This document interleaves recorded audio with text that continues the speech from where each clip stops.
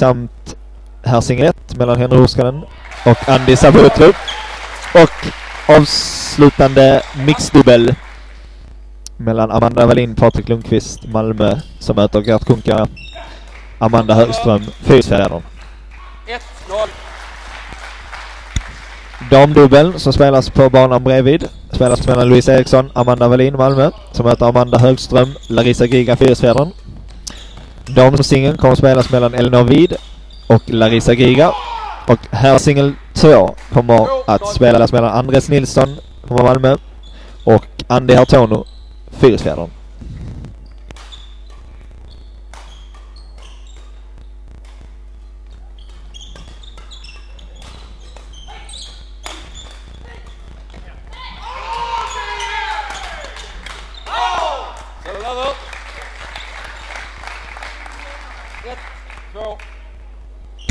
Sitter här med eh, Jonathan Nord som eh, är en eh, kille som spelar annars i, på det nationella centret här och är specialist i dubbel. Eh, Jonathan, vad tror du om eh, här dubbel ett här mellan eh, Henry och Patrik och Gert och Andy? Eh, de har ju mötts här nu två gånger i finalen. En gång uppe i Uppsala och en gång här i lördags. För det, de drabbningarna har slutat med varsin vinst. Eh, viktigt idag tror jag, om man tittar från båda sidor, är att de kommer framåt i banan, att de hittar luckorna. Det är väldigt viktigt att man tar initiativ och visar här från start att man vill vinna, man vill vinna kampen om nätet. Så säger Görtan servar. Bra kort serv. I och med att de har mötts nu ett par gånger så börjar de känna till varandras styrkor och svagheter. Vi får se här vilka som är smartast och har analyserat andra paret bäst.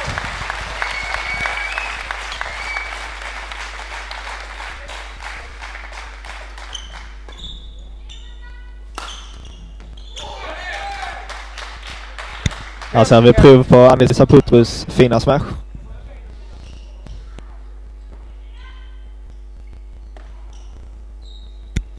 Det som vi även pratade om i lördags Petter, det var hur viktigt det är med server och servmottagningar. Gört har ju en väldigt bra serv kom vi fram till. Uh, vi ska se här vad han gör nu. Han servar kort igen.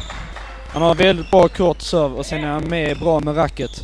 Det är viktigt för Malmöparet att de hittar luckorna bakom Gört och lyckas komma runt han med bollen hela tiden. Tycker här också inledningsvis att uh, Andy ser otroligt pigg ut och, och visar också nu verkligen att det här är en match som, uh, som Fyrisvärden verkligen vill vinna.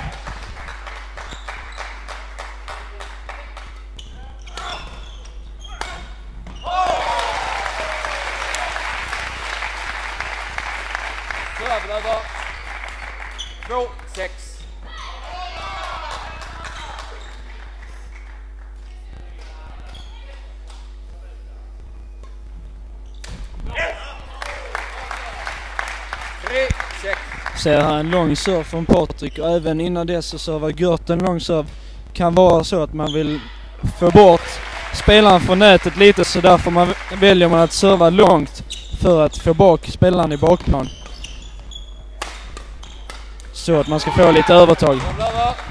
Ännu en bra boll där av Gert.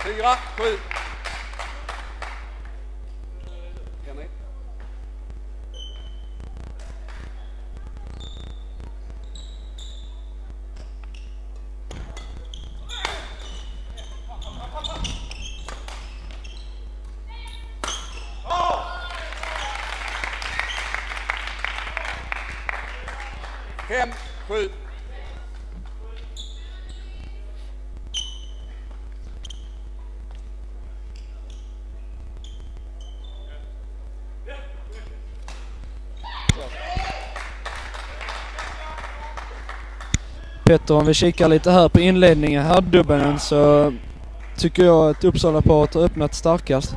Vad är det du tror som de har gjort att de har öppnat så här starkt som de har gjort? Ja, De står väldigt bra i banan och eh, täcker de luckorna som, eh, eh, som de kanske hade, som de inte täckte i förra matchen. Samtidigt tycker jag de ser speciellt Andy Saputra ser otroligt pigg ut och har väl inte visat, visat det innan i de andra matcherna tycker jag men visar nu att eh, det här är en, verkligen en match som, som Fyrishjärnan måste och, och vill verkligen vinna. Håller med dig Peter Saputo. Han ser väldigt stark ut och spelar med ett fint självförtroende som jag inte har sett 9, 6. någon gång innan.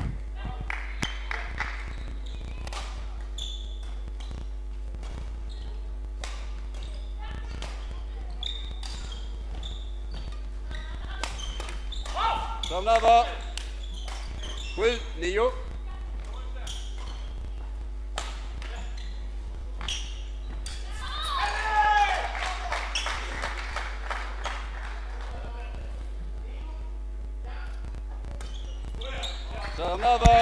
Och i banan bredvid, på banan bredvid här har vi damdubbel. Eh, den här ställningen just nu är nio lika i första set.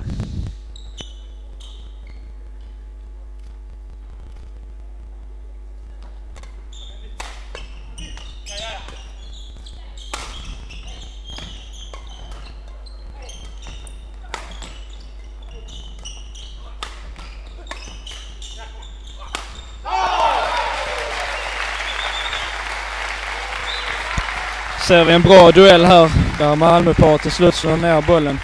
Tycker Malmöparet visar lite mer offensiv just nu medan Fyrisparet de ställer sig lite mer i defensiven. Det är viktigt om man vill vinna bollarna att man vågar gå på och tror på sin offensiv.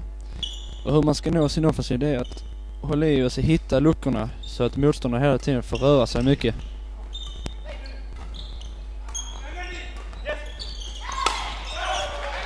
Serve över. 11, 8. Paus.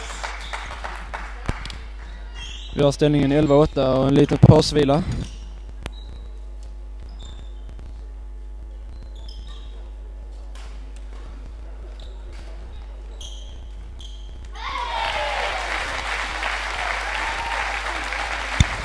I de förra mötena har det ju varit otroligt intressant och spännande. Eh, Den första matchen uppe i Uppsala där eh, Malmö hade matchen i sina händer eh, och ledde med 9-8 i eh, avgörande set i avgörande mixen men tappade det. Och därmed Fyris vann med 4-3. Och var lite vända roller här i här nere i lördags då eh, Fyrisvännerna ledde med 3-0 och eh, Malmö Badmintonklubb mirakulöst vände och vann med 4-3. Där eh, Fyrisvännerna var en poäng ifrån SM-guld. 12, 8.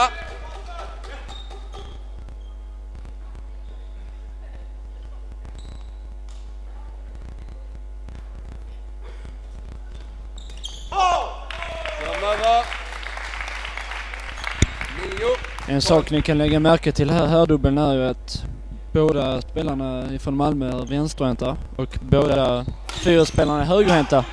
Även detta spelar roll var man ska placera bollarna för att göra det så svårt som möjligt. Så förhoppningsvis så har båda paren stenkoll på vilket rack sina motståndare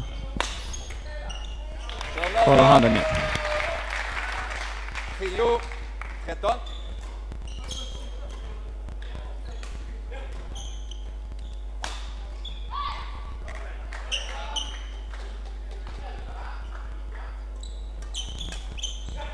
10, 13. Serve över. 14, 10.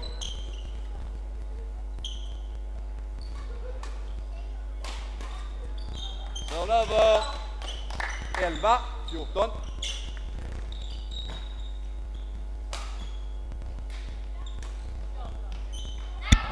För er nytillkomna här på sändningen så har matchen precis startat och vi eh, tittar just nu på herrdubbel 1. Eh, och på andra banan spelas damdubbeln och det är de två första matcherna så just nu står det 0-0 eh, i eh, den totala matchen.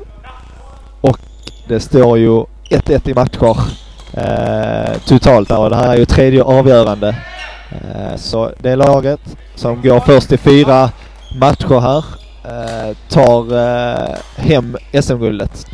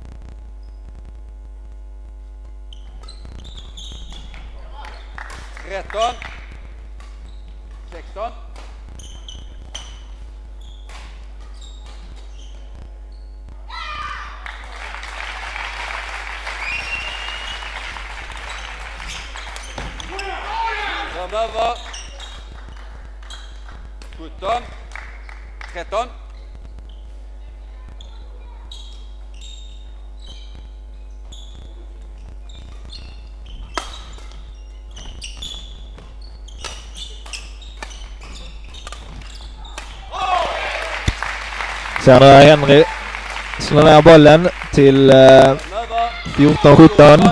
Men eh, har ryckt ifrån lite och tycker här att eh, Malmöparet är en aning stressade. Och kanske ser prov på där att Henry servar i nät. Eh, Fyrisparet visar lite mer att de är lugna.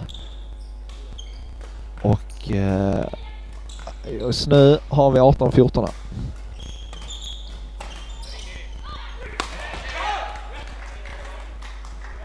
19, 14.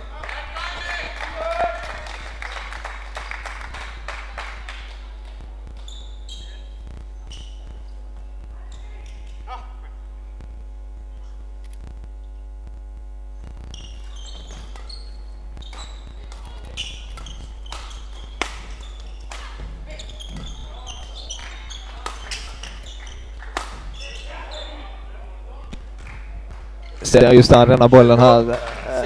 Både Gert och Andis lugn i, i defensiven. Spelar runt Henry i bakplan. Eh, och gör till slut att Henry slår ut smashen. Eh, vad, vad säger du Jonathan om eh, matchbilden än så länge? Jag håller med om det du säger att fyrhjulsparet de har spelat lite lugnare och det är viktigt att ha ett fint tålamod. Just nu så spelar fyrhjulsparet med ett bra tålamod där de väntar. Sen får de ett läge och går för att vinna bollen. Lyckas de inte, ja då accepterar de det och så börjar de om, 16, fortsätter 20. hitta luckorna hos eh, Malmöparet. Och till slut så kommer de få ett bättre läge där de slår ner bollen. Detta tycker jag Fyrisparet har gjort väldigt bra hela första set. Och det blir så att Malmöparet de spelar väldigt stressat i och med att Fyrisparet de har ett lugn och man ser, det syns på deras kroppsspråk just nu att de spelar med väldigt stor, stort lugn och stort självförtroende.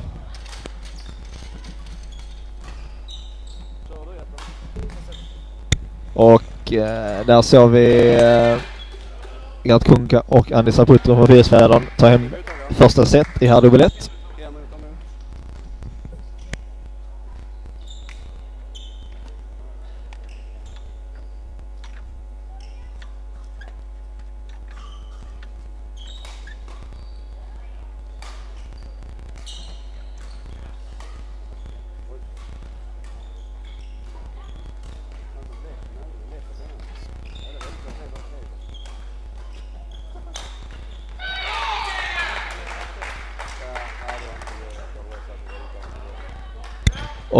I, eh, på banan bredvid i damdubbel har vi just nu ställningen 19-15 till Fyrisfjädern. Och eh, första set som sagt avklarat eh, i här dubbel 1 där eh, Fyrisfjädern tog hem det med 21-16. vad tror du nu Jonathan eh, eh, om Malmöparet, deras taktik och eh, vad ska de göra för att, för att vända den här matchen? Jag tror det är viktigt för Malmöparet att de börjar om lite med en ny taktik här. Att de inte stressar så mycket utan att de redan från start här försöker hitta luckorna och komma framåt i banan. De 0-0. måste vinna offensiven här nu och våga tro på det, det man gör. Det går inte att göra så. Där såg vi ett billigt misstag av Henry Horskanen. Man har inte råd med det här i en SM-final. Om vi å andra sidan kikar på Fyrisparet, vad som är viktigt för dem i det här sättet, det är att de ska fortsätta med det de gör. Behålla lugnet och tålamodet. Vänta tills de har ett läge och bara fortsätta mala på.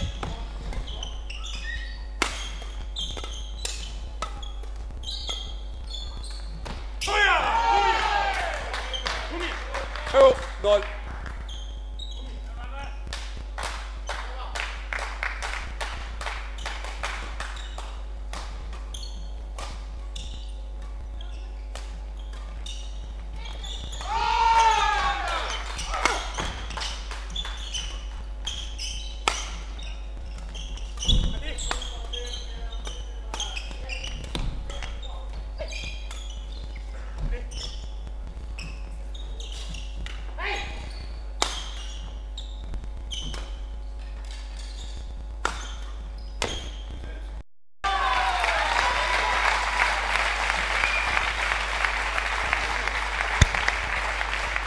Vi ser på en mycket fin boll här och eh, matchbilden tycker jag Jonathan här och att den har ändrats en del här med eh, ett ökat tempo eh, och tror att det är eh, Staffan här, eh, coachen som har gett direktiv att kanske höja upp tempot lite eh, för att komma in i, i matchen igen.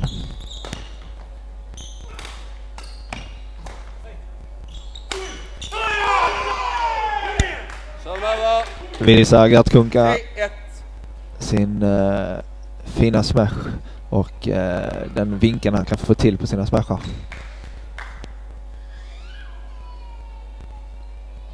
Spela. Patrik.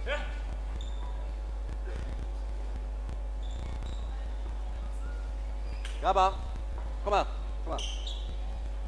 När de är redo så Vi kollar lite på inställningen hos eh, de båda paren Petter så tycker jag framförallt om vi kikar lite på Fyrisparet till att börja med så i lördag så såg de lite uppgivna ut men visst de vann matchen men, men idag verkar de väldigt mer taggade än vad de var i lördags.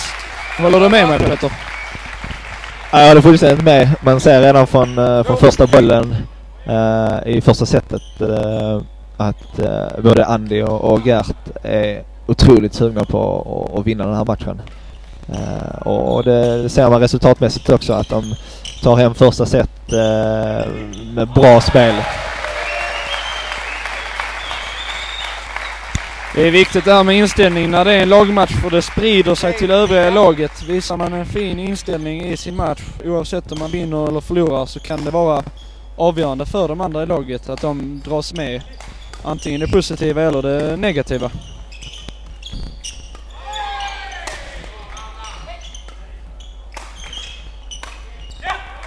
serven över. Enkelt misstag där Patrik men vi ser fortfarande att Malmöparet de jobbar stenhårt och flyttar bollen väldigt snabbt. Eh, Det som Petter nämnde innan, de vill antagligen få Fyrisparet till att jobba väldigt hårt i det här sättet.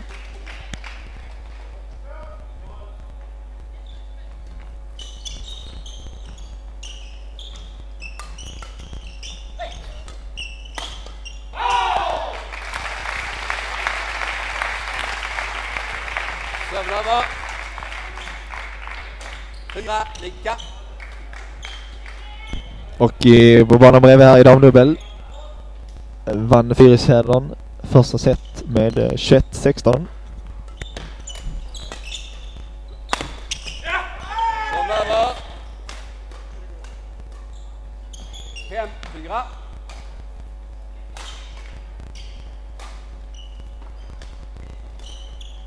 Och så vi ser här inledningsvis att eh, paren följs åt i poängställningen här. Eh, tycker att Malmöparet har spelat upp sig en, en aning här och hänger med i tempot bra här. Men Gert och Andy ångar på. tror lite nyckeln här. Ställningen är ju 6-4 till Fyrisparet. Eh, de verkar ha svarat bra på Malmös taktik just i det här snabba spelet. De har inte vikt ner sig utan de svarar med att trycka på ännu hårdare just nu faktiskt. Bra retur där av Patrik. Ställningen 5-6. Intressant att se här nu vad Gert kommer att göra av den här serveturen. Gert som är väldigt bra på just serve och servetur. Får se här vad han kommer att hitta på.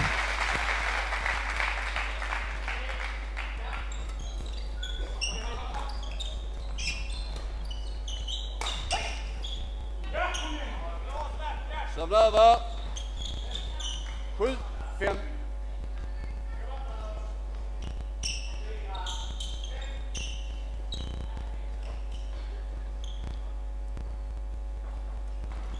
Serve över.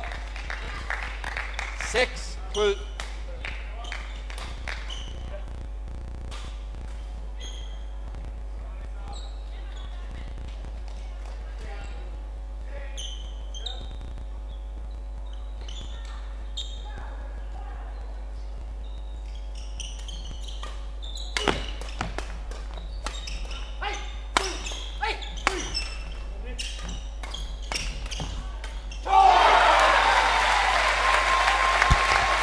En fin boll.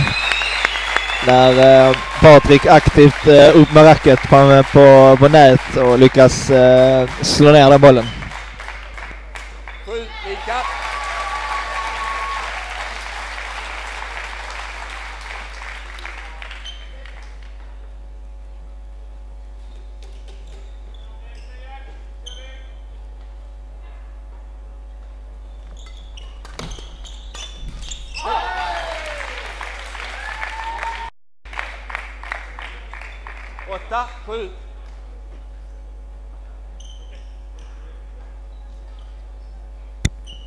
En sak som vi kan nämna Petter det är här i herrdubbeln att har man bestämt sig för en taktik så är det viktigt att man vågar tro på den. Att man inte viker av från det. Även om man ligger under lite i början så är det, då är det väldigt lätt hänt att man börjar ta till sig en annan taktik. Men det är viktigt, har man kommit överens med sin tränare och med sin meds medspelare så är det viktigt att man håller den taktiken för att det ska bli ett lyckat koncept. Nio, åtta. Håller fullständigt med. Det är ju en, en styrka i, i många par att eh, kunna ha det tålamodet och, och verkligen tro på sitt spel.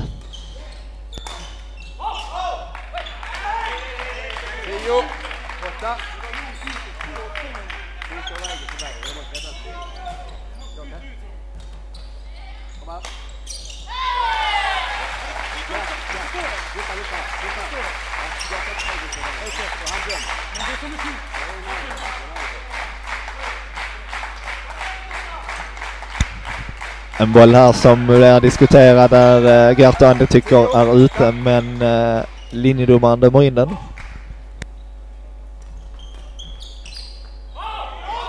Serve över. Nio, tio.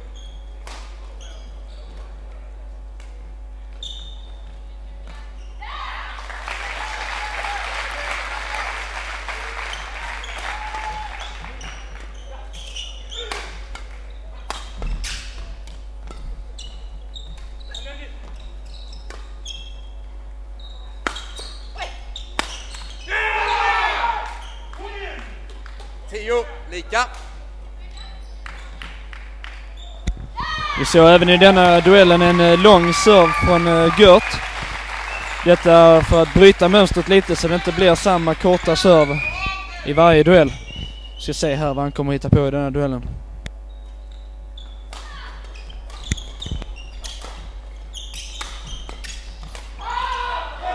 Även en eh, bra lång serve av Gert men han lyfter ut den på längden.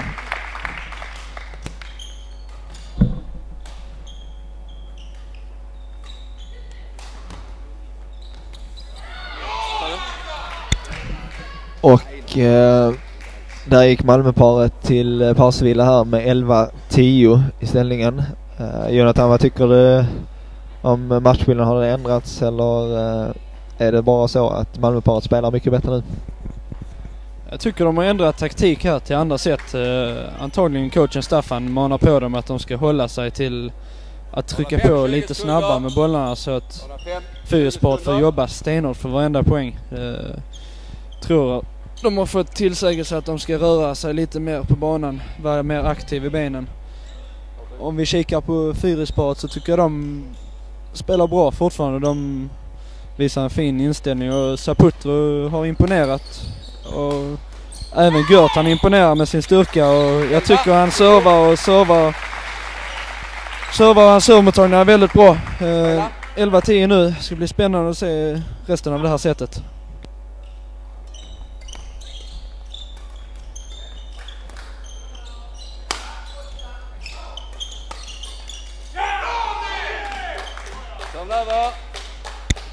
Bra där av Saputro från Vinät som trycker upp racket fort igen och lyckas trycka ner nästa boll också. Det är som Jonathan säger, håller fullständigt med att eh, Andy Saputro har imponerat i, än så länge i den här dubben. Det är som du säger, det är, Peter här, det är viktigt med efter man har slagit ett slag så måste man alltid vara beredd med racket just i herrdubbel för bollen kommer oftast väldigt fort tillbaka och ibland kommer den på ställen där man inte tror. Vi ser här Gert han eh, gjorde likadant, han slår ett slag, sen är han med med racket. Uh, Han trodde nog själv att han prickade men han missade den med en hårsmån.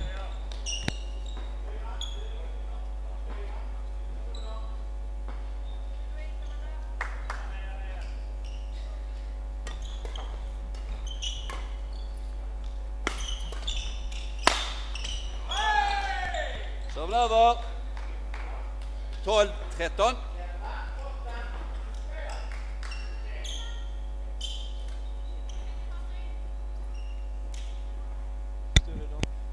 Ställningen 12-13 här är herrdubbel 1.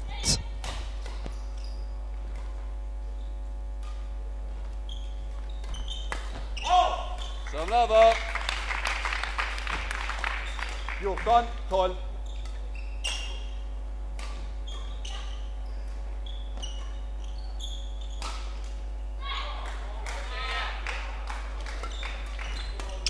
Serve över. Och i damdubbeln 13.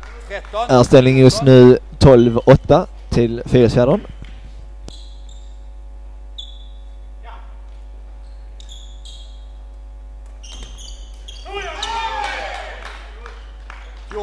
Där ser vi ännu en gång hur viktigt det är att vara beredd med racket efter man har slagit. Eh, Andy Saputro han, eh, från Fyrisfjärden, han gör det väldigt bra här.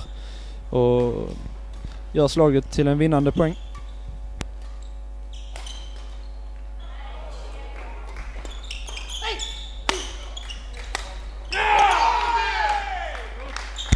Eh, Petter, Fyrisfjärdens coach eh, PG Jönsson nämnde tidigare att eh, här dubbel är lite utav en eh, nyckelmatch för eh, den här SM-finalen. Eh, hur ser du på det, den tanken? Nej, det är väl bara att hålla med. Det, speciellt båda herrdubblar är ju två matcher som, eh, som det står mycket på spel. Eh, om, om Fyris skulle tappa, eh, tappa båda dubblarna så kan det se tungt ut då. Malmö, 16. Malmölaget har två, två bra singlar. Men samtidigt om Fyrisvänner skulle vinna båda dubblar så kommer Malmö ha det tungt så att eh, här dubblarna som sagt otroligt viktiga för båda lagen.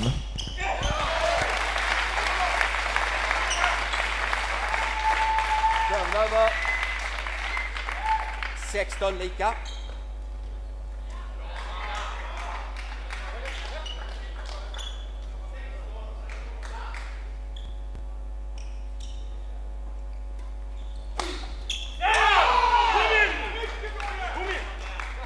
Serve över.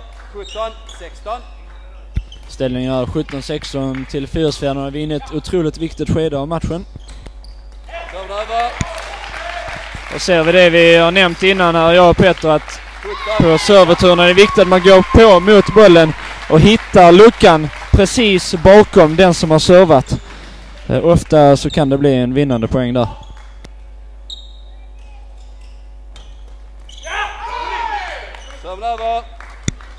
Även där ser vi 18, 17. hur bra gjort det var av Andy Saputro som går på bollen. Och eh, det blir till ett vinnande slag. Ställningen 18-17 här. Enkel returmiss här av Patrik Lundqvist och det som vi nämnde innan, det har inte råd med de misstagen här i den här finalen.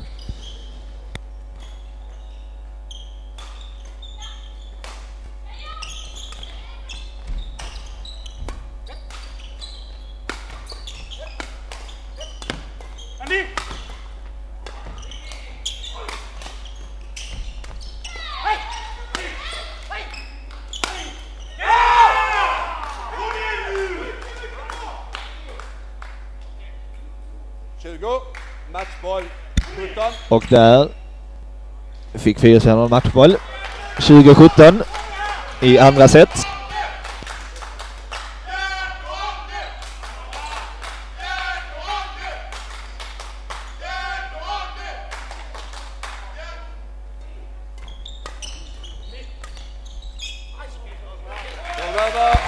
Malmöparet räddar en matchboll till 18-20. 18, 20.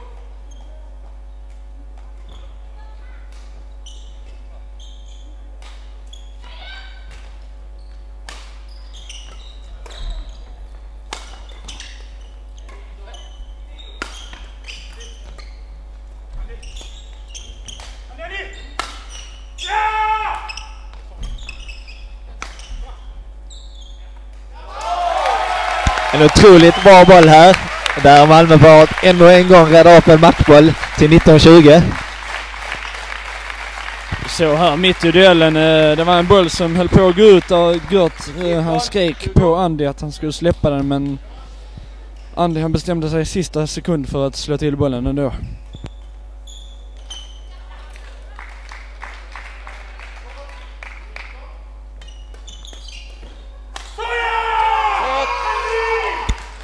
Och där slog han ner matchbollen till Fyrisfjädern.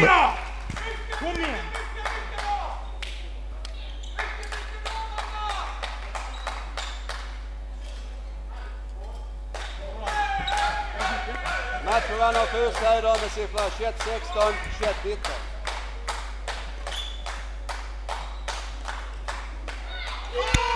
21-19. Och då tar Fyrisfjädern ledningen med 1-0 i matcher efter vinst i herrdubbel 1 med siffrorna 21-16, 21-19.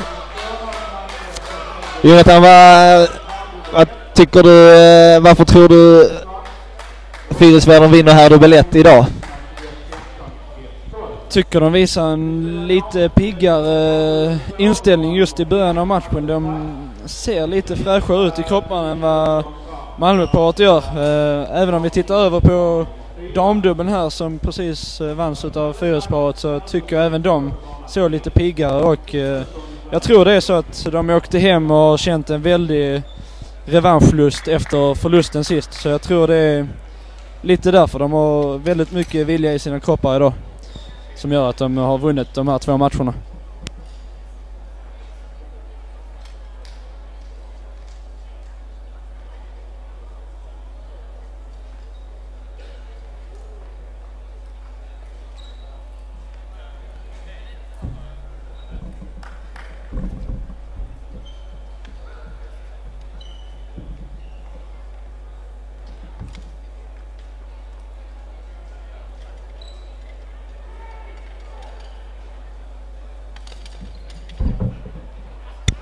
Petter, eh, om vi återgår till den förra matchen som var i lördags så var ju ställningen eh, efter herrdubbel 1 och damdubbel så var ju ställningen även där 2-0 till Fyrisfjädern.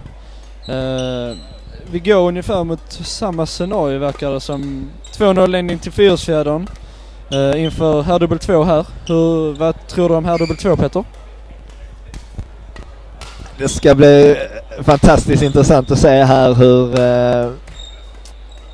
hur Oskar och Kristoffer här känner efter eh, första matchen. Det var ju en otroligt bra match från deras sida och en, en, en skräll får man ju säga. Eh, som de tar hem i, i tredje set. Eh, som sagt, väldigt intressant att se om de håller samma klass som de gjorde i lördags.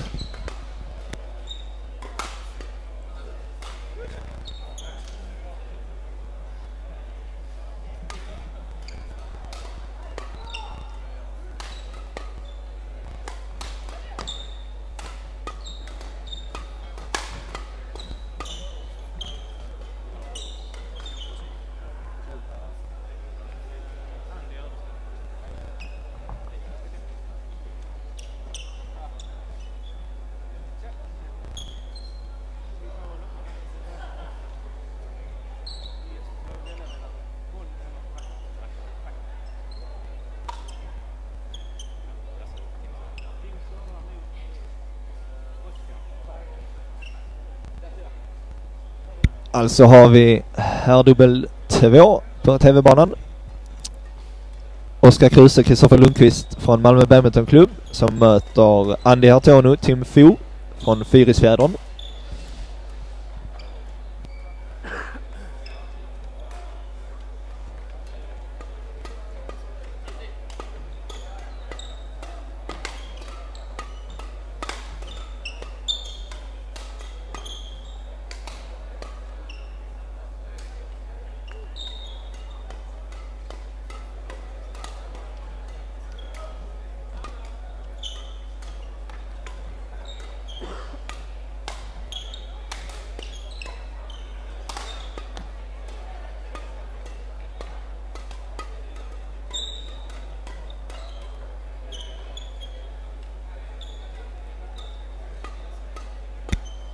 Jonathan, vad, vad tror du går i eh, Tim Fo och Andy Artones tankar här efter eh, förlust här i förra matchen?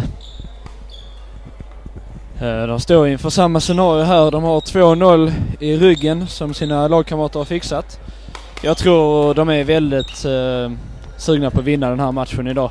Eh, ännu mer än någonsin faktiskt. Eh, och hur de ska göra det, det är viktigt för dem att de inte blir stillastående utan jag tror det är viktigt för fyrhjulsparet här att de håller en fin rörelse. Båda två är väldigt tekniskt skickliga och kan hitta luckorna hos eh, sina motståndare. Så jag tror det blir nyckeln för dem. En bra rörelse i benen och bra rörelse med racken. Det kan bli oerhört viktigt. Även därför MBK-paret, eh, som du nämnde Peter innan, det är viktigt att de håller samma klass som de gjorde i lördags som det, den här matchen ska gå och vinnas.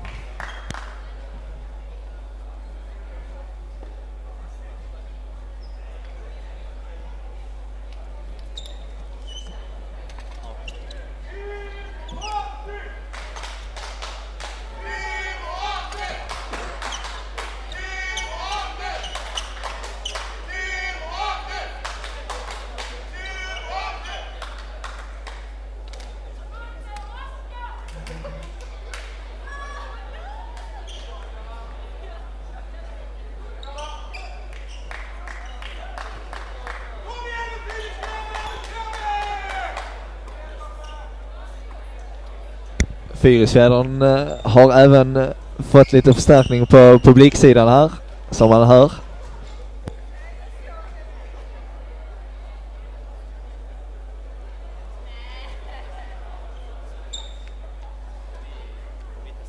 Ja, det är bra. Vi är iväg på fjärde på förra, så att jag tror vi får fortsätta med det. Ja.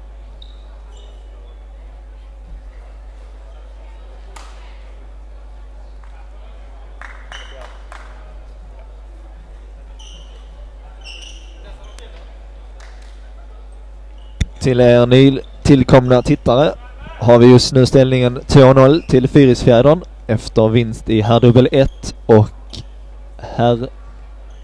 Förlåt, damdubbel.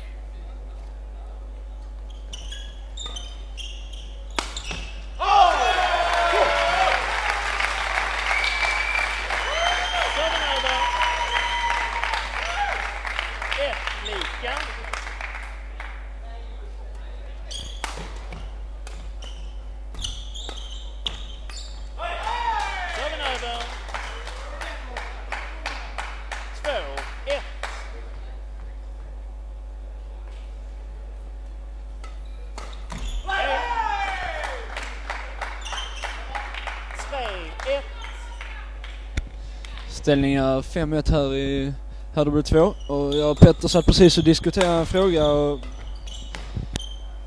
Ursäkta mig där. Ställningar 3-1 i Herdebrod.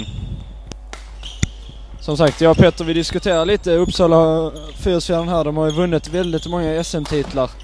Eh, vad tror du är anledningen till att de har vunnit så många titlar som de har gjort Petter? Ja, först och främst tror jag mycket på, som vi säger, kvaliteten på spelarna. Eh, hela deras lag håller en, en väldigt hög, hög standard och kvalitet i, i sitt badmintonspel. Eh, och eh, jag tror även att eh, hemma i klubben har de, eh, har de många spelare som, som håller den kvaliteten och kan, och kan sparra varandra. Vilket eh, leder ju till bra spelare.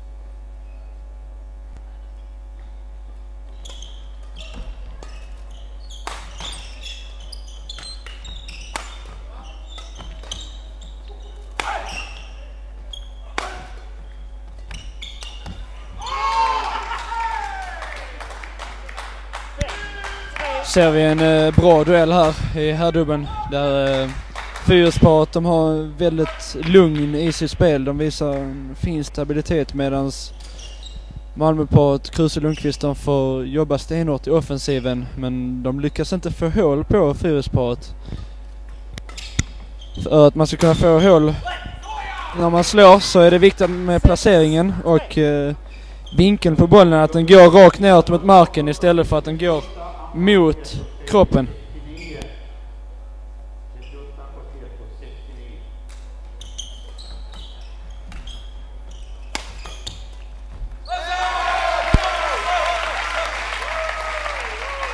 Serven över. Fyra, sex.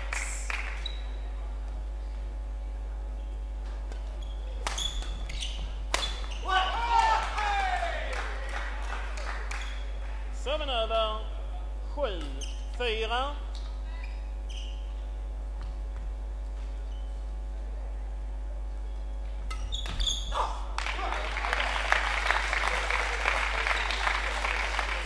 Serven över. Fem, sju.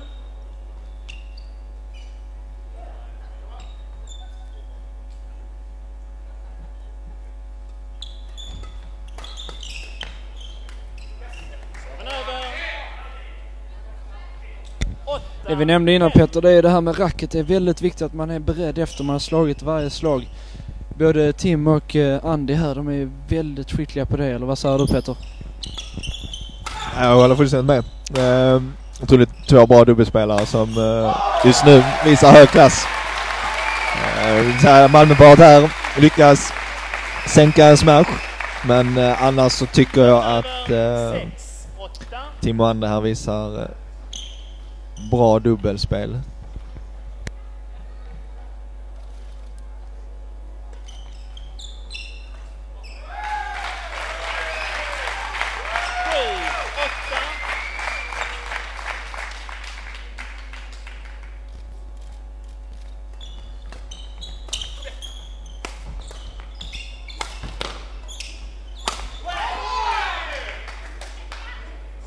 Ser här Fyrsport, de ligger och avvaktar hela tiden i sin defensiv tills de får ett läge att gå på bollen och när de väl får läget då går de ofta för att avgöra den.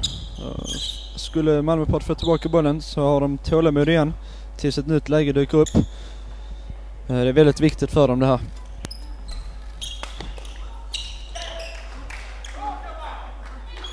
Tio, sju.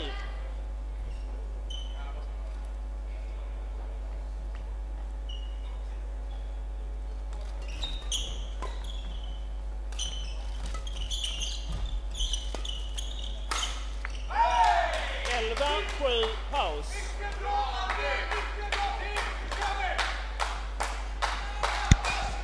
Vi går till pausvila här med ställningen 11-7 till Fyrisparet. Eh, om vi kikar lite på Malmöparets taktik här Petter så verkar det som att eh, coachen Staffan har sagt till dem att de ska ligga på ganska mycket och slå väldigt hårt. Vad tror du är viktigt? Tror du det är viktigt att de ändrar taktik här och kanske provar något annat eller tror du det är viktigt att de fortsätter tro på sin taktik? Ja, jag tycker faktiskt att de ska fortsätta ligga på här. Dock har de visat sig lite passiva nu här i första delen på sättet och måste komma förbi det och eh, vara lite mer hungriga än vad de är just nu.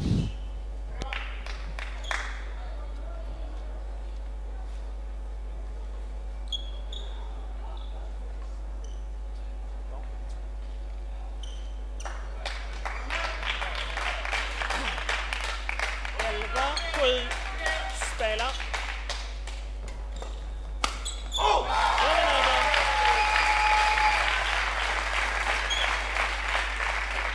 Åtta, elva.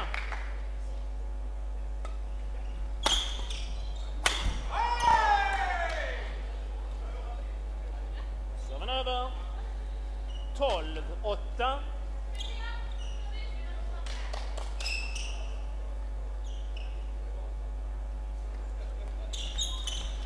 Serven över. Nio, tolv.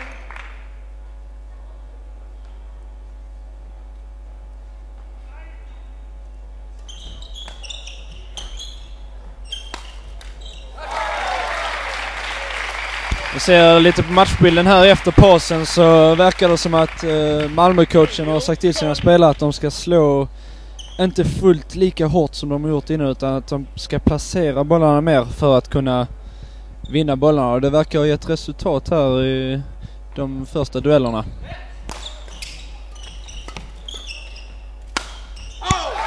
Även där ser vi en bra placering från Oskar Kruse i Malmöparet.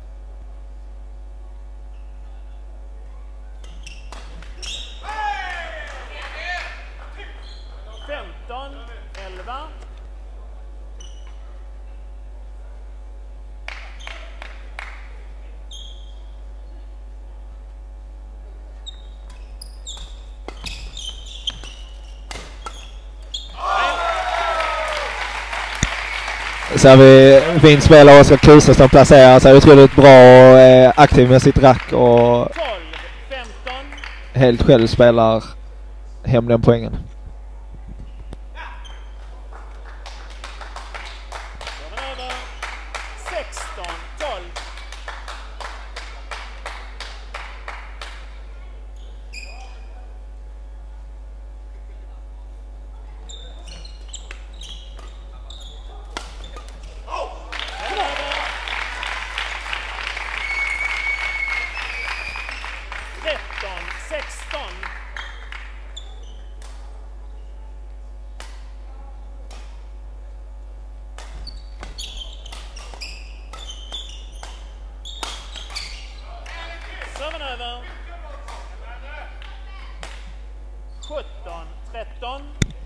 Ställningen 17-13 här till Fyrisfjädern.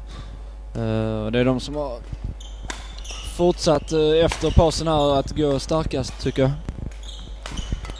De uh, verkar tro på sin taktik och kör på med samma tålamod och de väntar in ett läge tills de går för fullt. 13.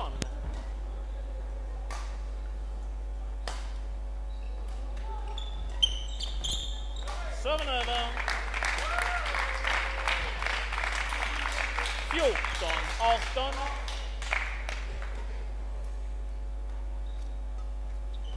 Ute. Serven över. Även där såg vi en servmiss från Oskar Kruse som missat två servar på raken här. Det är viktigt det här med servarna. Så man inte ger bort för många poäng eller vad, vad säger du Peter?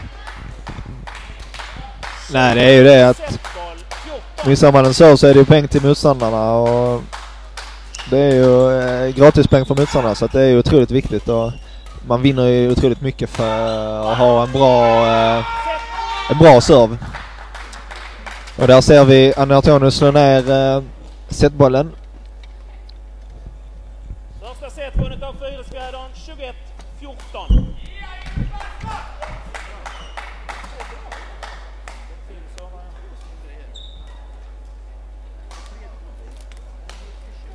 I förra mötet här mellan paren så var det samma scenario där eh, Fyrisfjädern tog första set med 21-17 och där Malmöparet vände sen matchen och vann med 21-15, 11-7. Och det ska bli otroligt intressant här att se hur, eh, hur matchbilden kommer att fortsätta. Om det blir en liknande match som lördagen eller om Fyrisvärlden kan eh, knyta ihop säcken här eh, i andra set.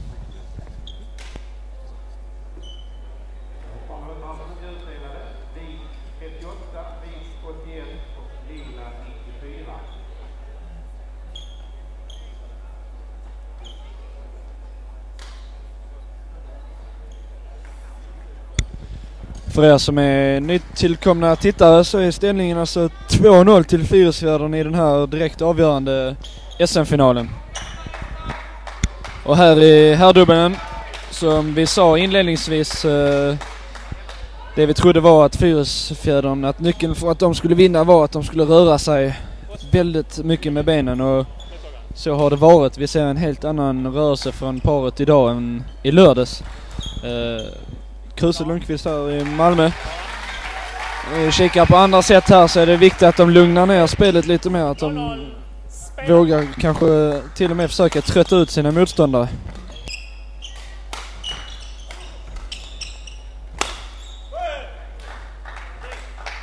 Ett, noll.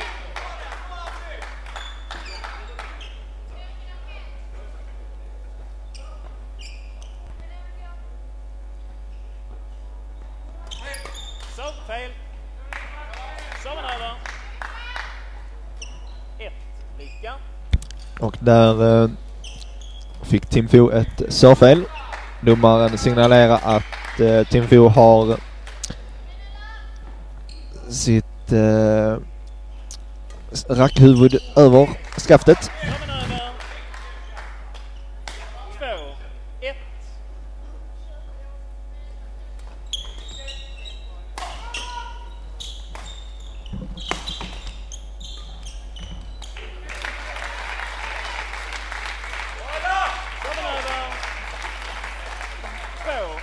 Och på banan bredvid spelas just nu damsingel mellan Elinor Wid från Malmö Badmintonklubb och Larisa Griga från Fyrisfjädern.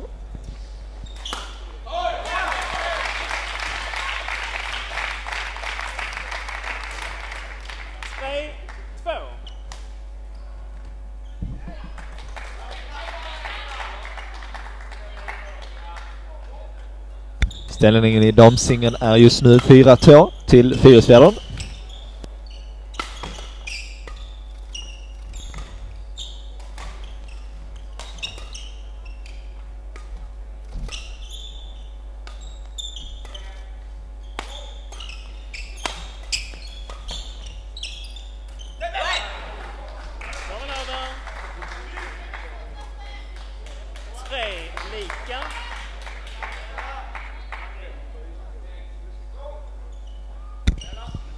Tycker vi ser en liten annan matchbild här i början av andra set i herrdubbeln.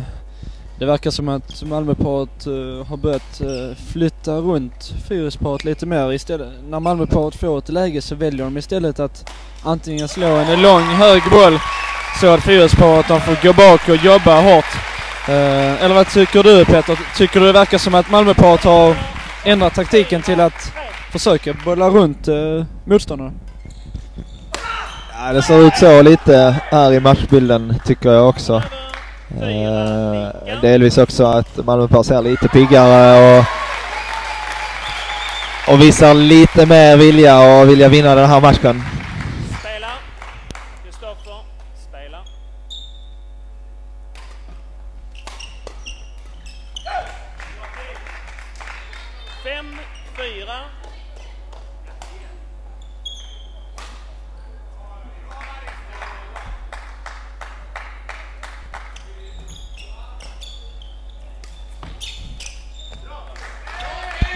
Bra slag av Tim Fu.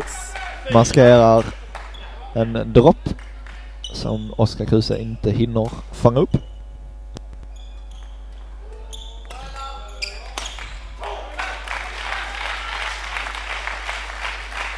Serven över. Fem, sex.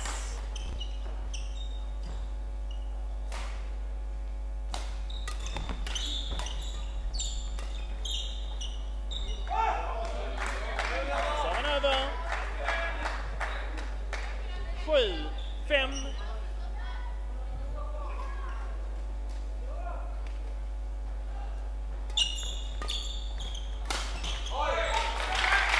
Serven över. En fin smash av eh, Oskar Kruse. Som vi pratade om innan det här med vinkeln på slagen. Visar han prov på en bra vinkel på sin smash. Fel. Serven över. Åtta, sex.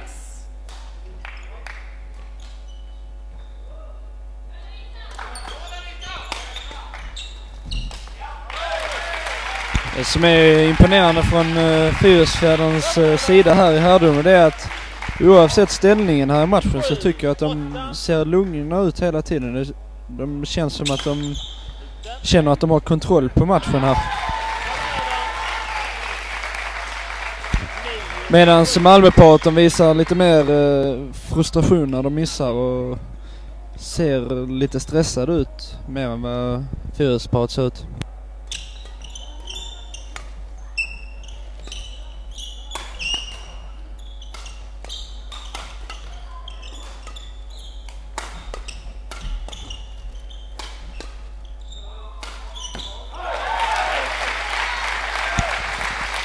Även här ser vi det vi nämnde innan med tålamodet i anfallet. Att det är viktigt att man inte slår allt vad man kan utan att man placerar bollarna här som Oskar gjorde ute i sidan. Och det ledde till en vinnande poäng.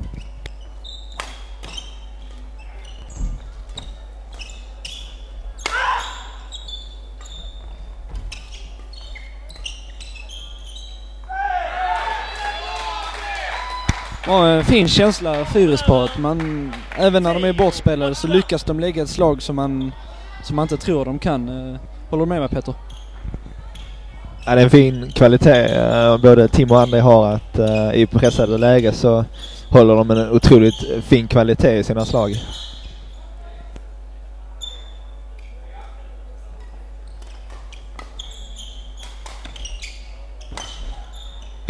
Och i damsingeln på banan bredvid har vi just nu 11-6 till Fyrisfjädern.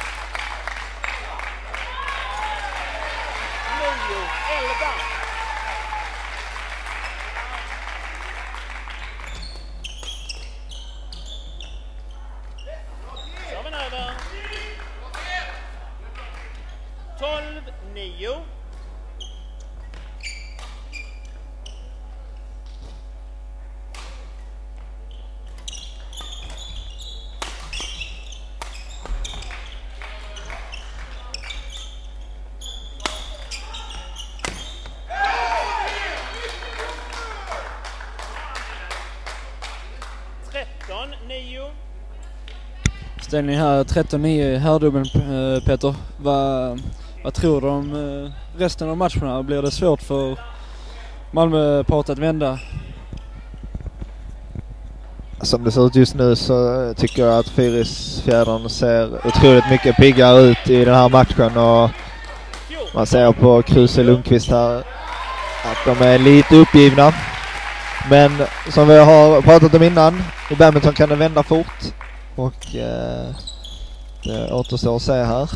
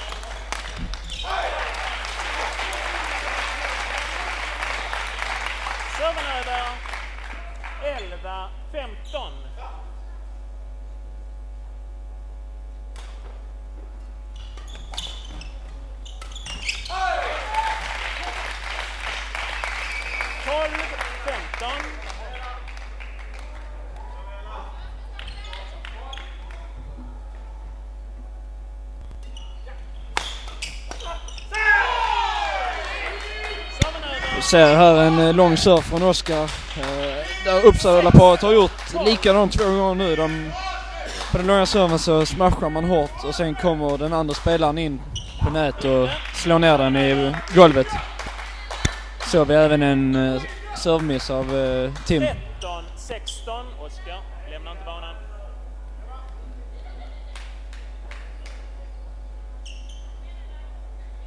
Och I ställningen 13-16 och det är viktiga poäng här för båda lagen.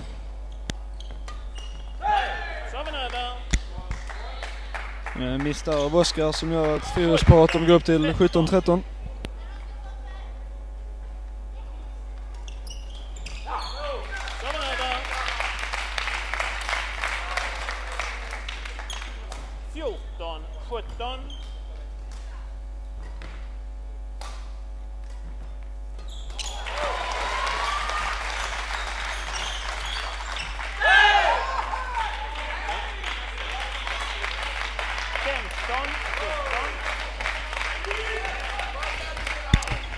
Hade en duell här där eh, båda paren eh, försökte skrika här men eh, linjedomaren eh, dömde ut bollen.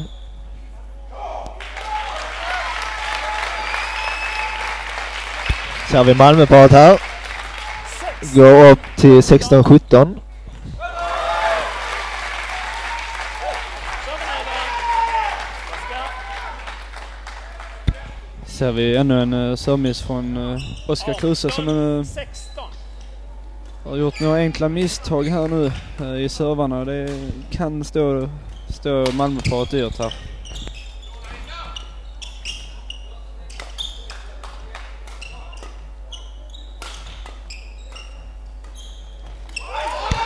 Vackert slag av eh, Tim här i Fyrisfjädern.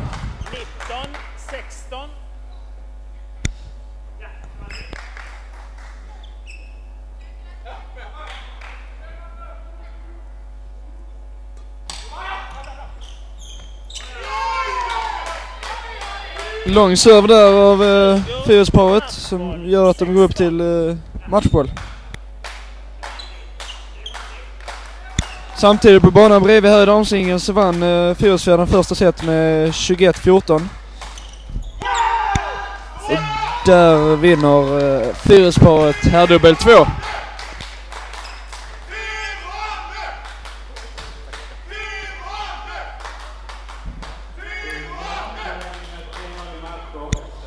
Nu är vi framme vid ställningen 3-0 eh, här till eh, Fyrisfjädern som ser ut till att gå mot en, eh, mot en seger i den här lagmatchen eh, i nuläget.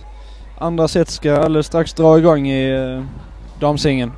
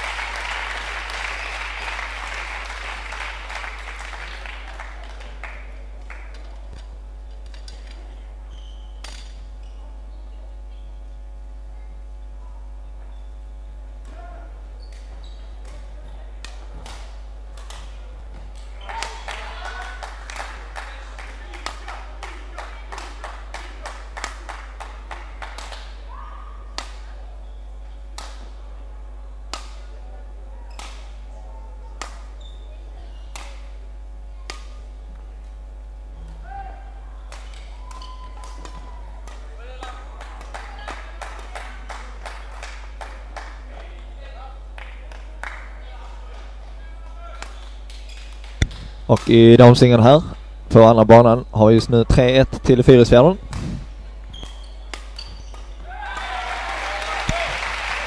Malmö reducerar till 2-3.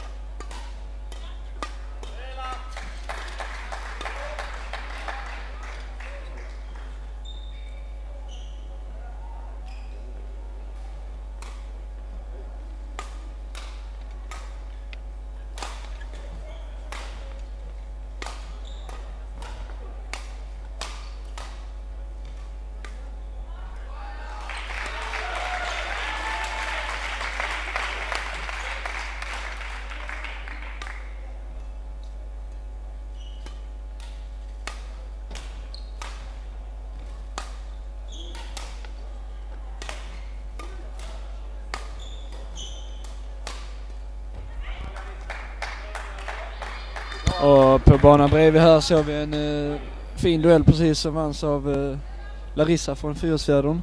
Och hon ser just nu eh, lite starkare ut än eh, Eleanor från eh, MBK.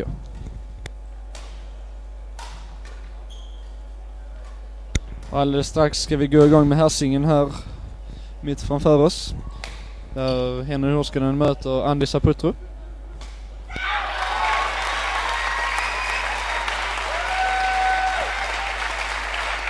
En eh, lång duell som Elinor Vid tar hem på, eh, i damsingen. Mina damer och herrar, här signett mellan MBK och Fyrisfjädern.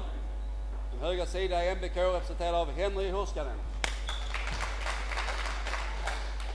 På vänstra sida Fyrsfjädern representerad av Andy Saputto.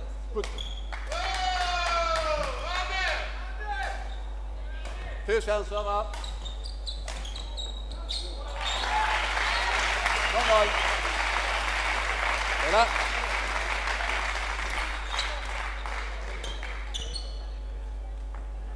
Serven över. 1-0. Serven över. Ett lika.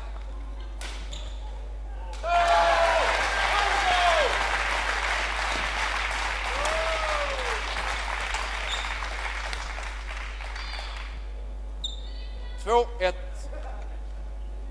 Samtidigt som herrsingeln är igång här så ligger just nu fokuset här i hallen i alla fall på damsingeln.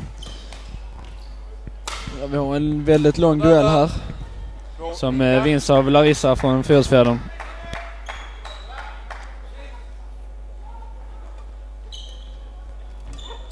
Och eh, vi håller er uppdaterade på damsingeln här på TVn istället för att eh, ha eh, ställningen på herrsingel 1.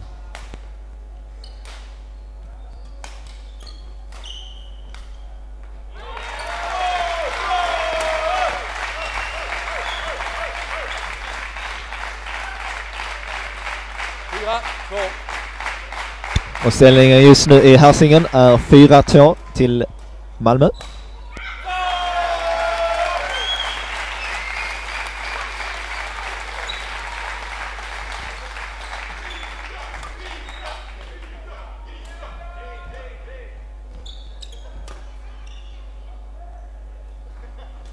Serven över. Tre, fyra.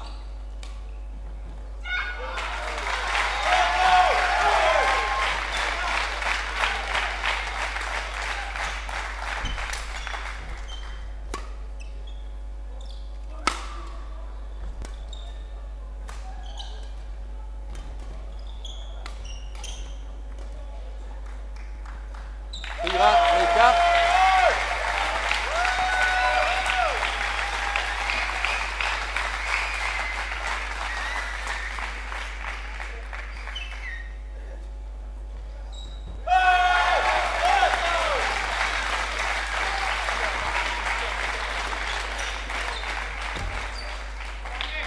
Serven över.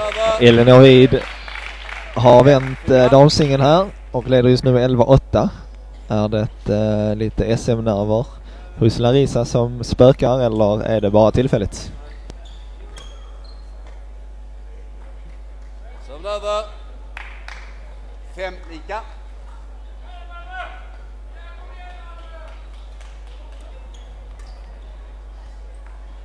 Serven över. Sex, fem.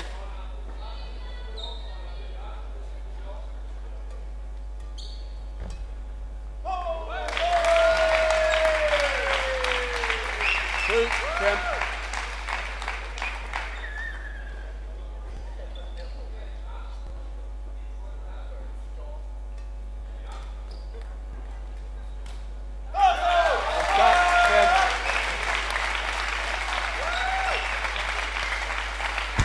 Vi har hört här från eh, några tittare att ni såklart gärna vill se avgörandet här i damsingeln eller resten av matchen. Just nu är det Elinor Wid som eh, har vänt lite här på matchen och vi försöker jobba på att eh, få in en bild på denna matchen över. och återkommer såklart med detta.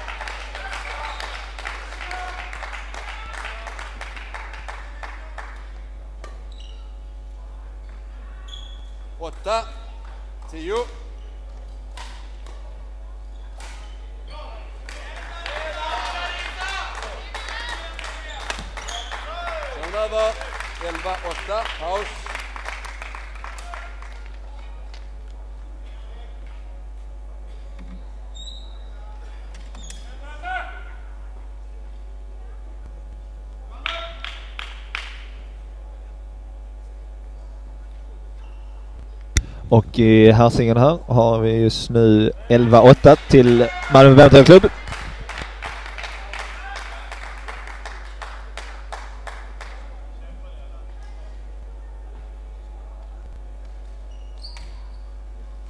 De har fem, 20 sekunder. De har fem, 20 sekunder. Vi ser här i damsingen att eh, Fyrstjärnorna har vänt matchen och leder just nu med 14-13. Åtta, spela.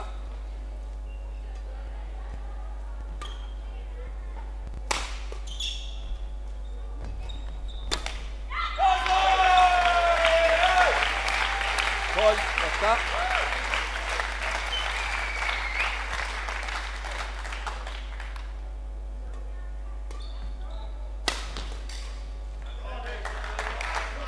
Tretton, åtta.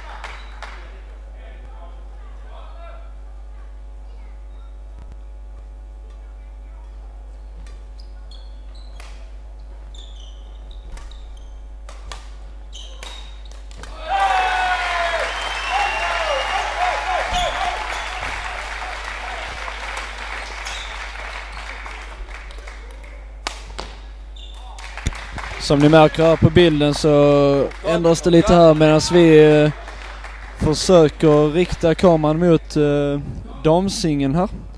Eh, får hoppas det inte ställer till för mycket problem för er tittare. Där hoppas vi att vi har fått in eh, damsingen.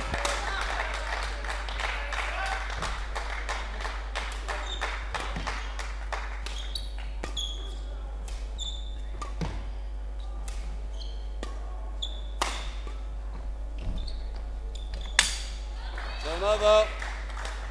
Nio, fjorton.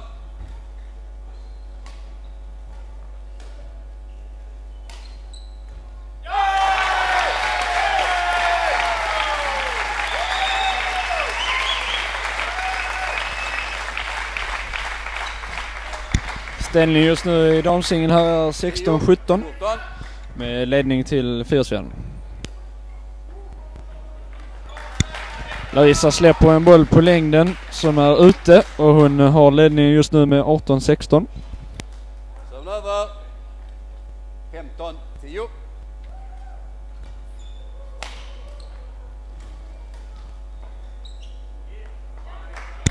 Den eh, bollen går ut från Elinor och Larissa är uppe vid 19-16. Hon har just nu två bollar ifrån att leda sitt Fyrisveden till eh, SM-guld.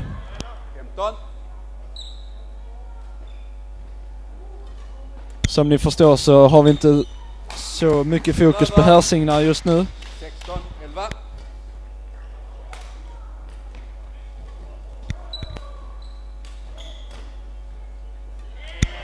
Ser vi en bra duell och bollen går ut på längden av Elinor och Fyrsfjärdarna framme vid matchboll. Och matchboll för SM-guld.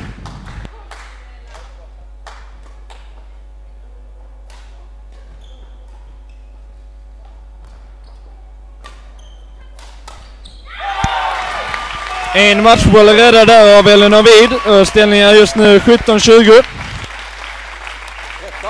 Sexton.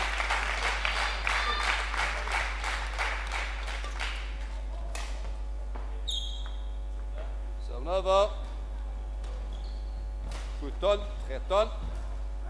Och där segrar Fyrisfjädern. Stort grattis till Fyrisfjädern som vinner med 4-0 i den här eh, lagfinalen och eh, spelarna de springer just nu in på planen samtidigt som Hersingen avbryts eftersom matchen är avgjord.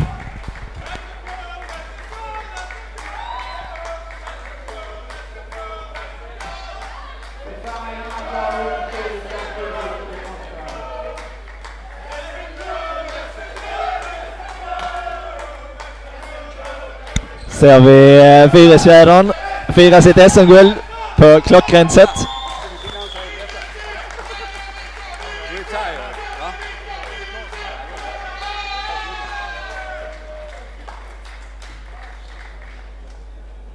De är gärna kvar några minuter så ska vi alldeles strax ha prisutdelning. Ställa er, munchef Thomas Angar.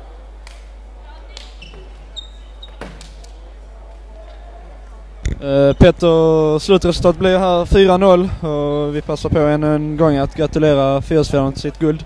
Vad tror du Petter gjorde idag så, som, vad var det som gjorde Fyrisfjädern ganska överlägsna med en seger med 4-0? Ja, jag tycker, eh, tycker deras inställning är eh, bättre än eh, Malmös idag.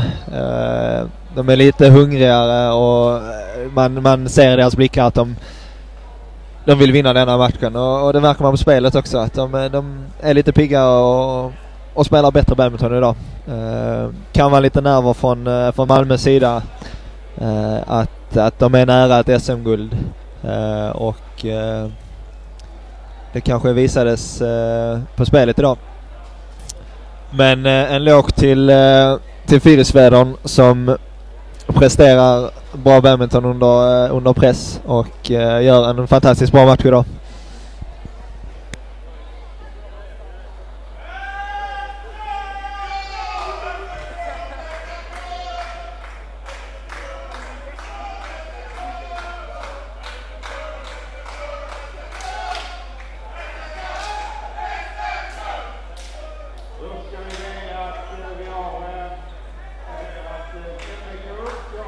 Och om en stund här så kommer vi ha prisutdelning.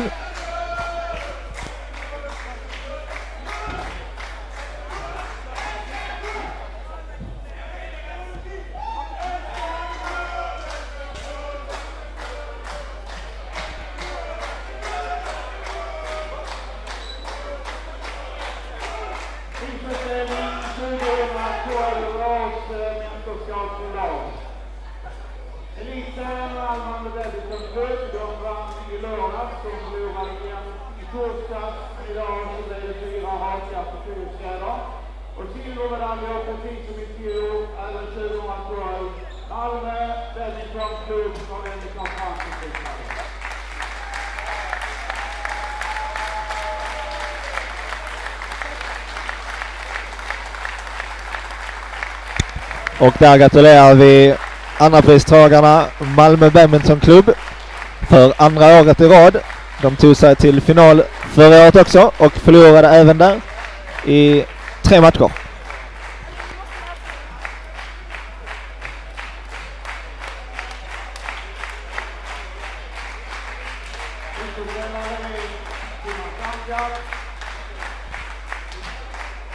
Prisutdelare är eh, Thomas Angart.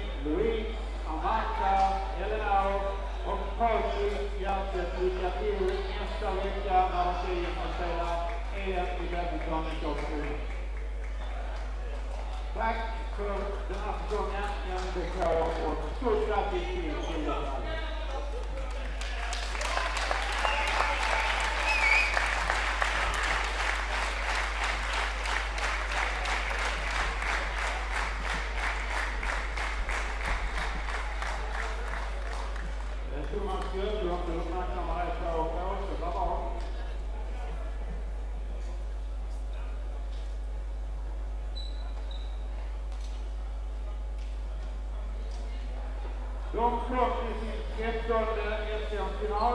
De har vunnit 12 av de senaste gångerna i och med segern i Vi väntar just nu på att Fyrosvärden ska stiga upp på prispallen och ta emot eh, SM-bucklan.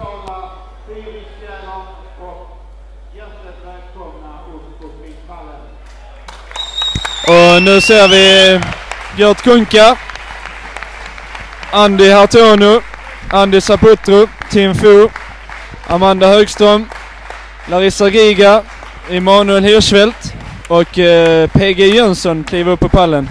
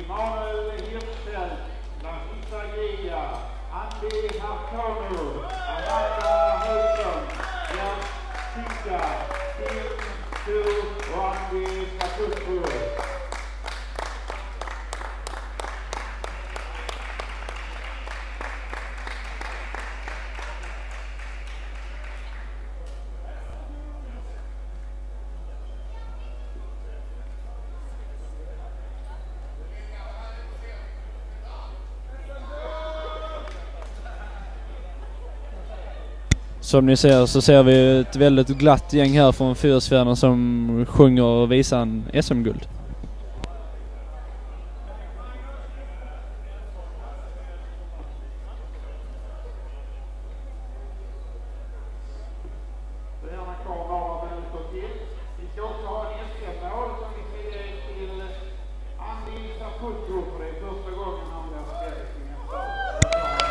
Vi ska nu se en uh, lite speciell prisutdelning här till Andy Saputro som får en SM-nål. Uh, eh, det är hans första SM-guld här. Vi gratulerar givetvis han till detta.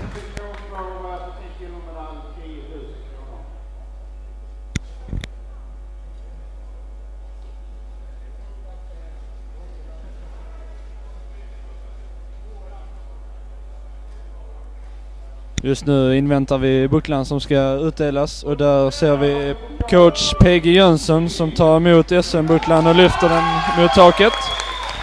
Vi...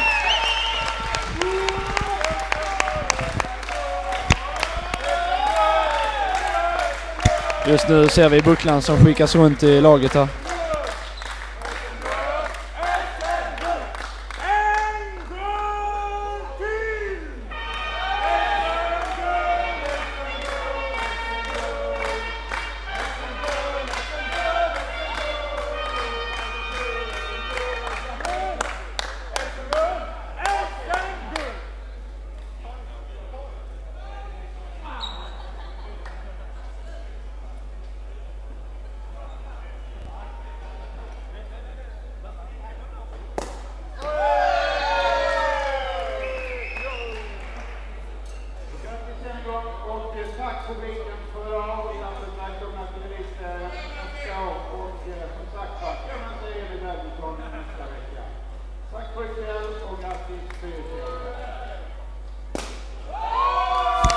Ser vi eh, Tim som eh, öppnar champagnen. Eh, lite vilt öppnande.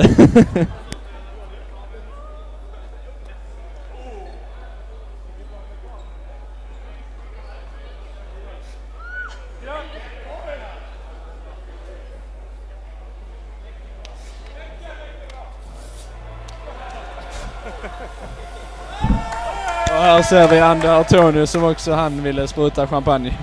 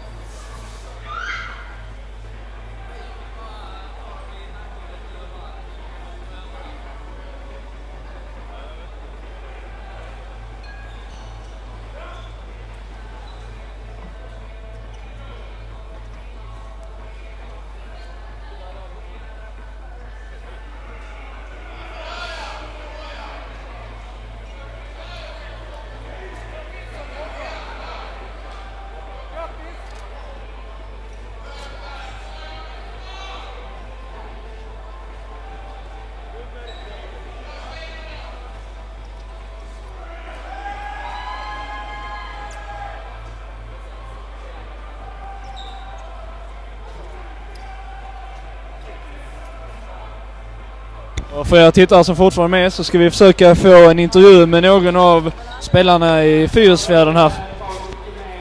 Eh, vi jobbar såklart med detta och förhoppningsvis så kommer någon hit här till oss. Ett ögonblick.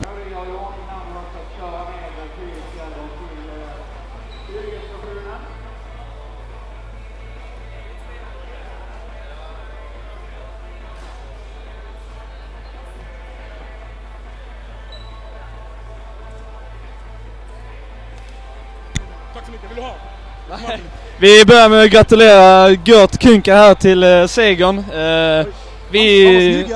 Ja det är det. Både jag och Petter vi imponerades av eh, din och Andis dubbel idag. Vi tyckte ni spelade väldigt bra. Beskriv eh, din känsla just nu. Du har varit med och vunnit SM-guld innan. Ja men det är alltid lika kul du vet. Det är ju eh, en härlig känsla att säsongen är över men man har slutat på ett ganska roligt sätt och bra sätt att vinna guld du vet. Plus att man gör det i ett lag och ja, det är vår och det är, kolla, kolla på den här. Det är roligt.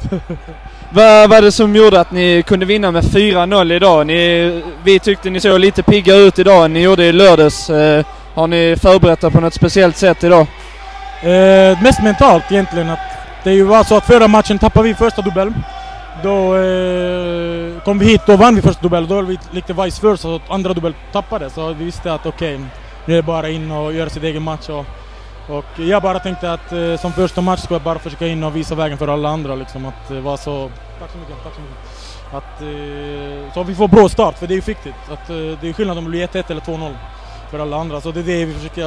Och det är bra att vi kunde göra det också. Och eh, ja, det var kul. Återigen stort grattis! Du ska få gå och fira med dina lagkamrater här och tack för att du tog dig tid att komma hit. Mycket bra. Skål, skål. Tack!